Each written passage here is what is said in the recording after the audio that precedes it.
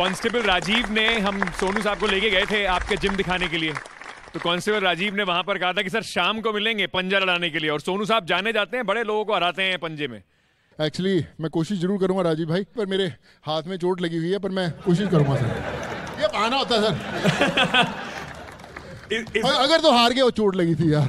जीत को तो हाँ देखो चोट में भी हरा दिया यार